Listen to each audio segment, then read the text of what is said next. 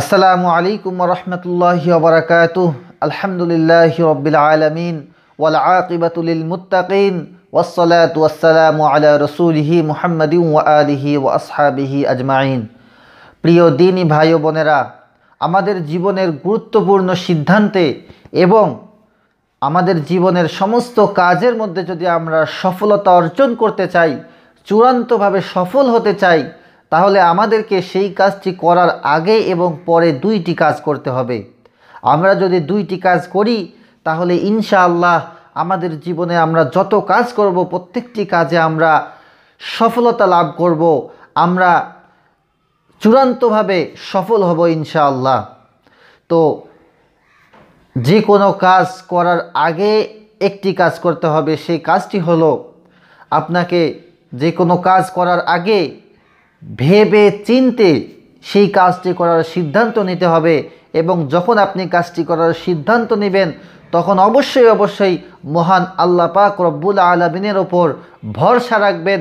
মহান আল্লাহ পাক রব্বুল আলমিনের ওপর তাওয়াক্কুল করবেন যে আমি যে কাজটি করতে যাচ্ছি, যে কাজটি করব, এই কাজটির মধ্যে আল্লাহ পাক রব্বুল আলমিন আমাকে সফলতা দান করবেন আল্লাহ পাক রব্বুল আলমিন আমাকে সফল সফল বানাবেন এটা আল্লাহ তালার উপর আমাদেরকে আস্থা এবং বিশ্বাস রাখতে হবে কারণ আল্লাহ পাক রব্বুল আলমিন পবিত্র কোরআনের মধ্যে বলেন বিসমিল্লাহির রহমানির রহিম ومن يتوكل على الله فهو حسبه যে ব্যক্তি আল্লাহ তালার উপর ভরসা করে যে ব্যক্তি আল্লাহ তালার উপর তাওয়াক্কুল করে, আল্লাহ তালা তার জন্য যথেষ্ট হয়ে যায়।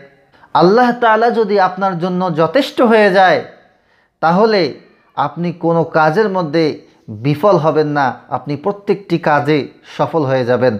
আপনি ব্যর্থ হবেন না, যদি আল্লাহ তালা আপনার জন্য যথেষ্ট হয়ে যায়।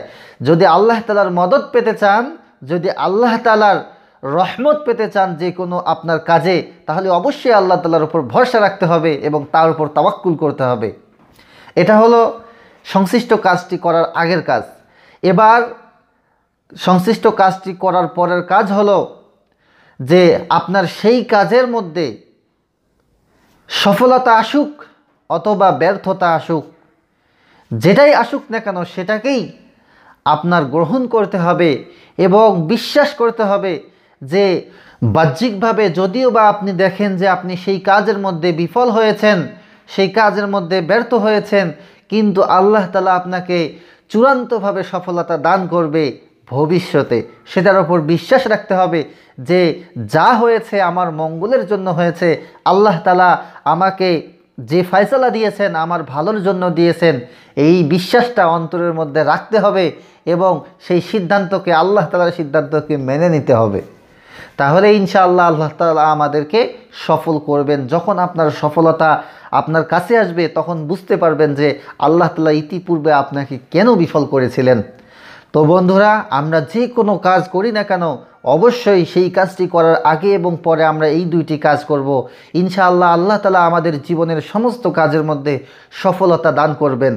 আল্লাহ পাক রব্বুল আলমিন আপনার এবং আমার আমাদের সকলের কাজের মধ্যে সফলতা দান করুন। আল্লাহ আমিন। বন্ধুরা, আজকের ভিডিওটি এ পর্যন্তই। যদি ভিডিওটি আপনার কাছে ভালো লেগে থাকে, তাহলে অবশ্যই আমার জন্য দোয়া করবেন, কারণ আমার মৃত্যুর পর আপনাদের দোয়াটি আমার অনেক বেশি কাজে লাগবে। আর বন্ধুরা, অবশ্যই ভিডিওটি শেয়ার করবেন। আপনার কারণে ইসলামের একটি বিষয় যদি অন্য কেউ জানতে পারে, তাহলে আল্লাহ তালা এর বিনিময়ে আপনাকে সব দান করবেন, যেটা আপনার মৃত্যুর পর আপনার অনেক বেশি কাজে লাগবে। আর যদি ভিডিওটি ভালো লেগে থাকে, তাহলে একটি লাইক দেবেন এবং আপনার মন্তব্য, মূল্যবান মন্তব্য অবশ্যই কমেন্ট করে জানাবেন। আর যদি নিয়মিত আমাদের চ্যানেলের ভিডিওগুলো পেতে চান, তাহলে অবশ্যই আমাদের চ্যানেলটি এখনই সাবস্ক্রাইব করে পাশের বেল বাটনটি অন করে রাখবেন। তো বন্ধুরা, দেখা হচ্ছে পরবর্তী ভিডিওতে। ততক্ষণ পর্যন্ত আল্লাহ তালা আপনাকে, আমাকে সকলকেই ভালো রাখুন। আল্লাহ আমিন। ওয়াসালামু আলাইকুম ওরহমতুল্লাহি অবরাকাতু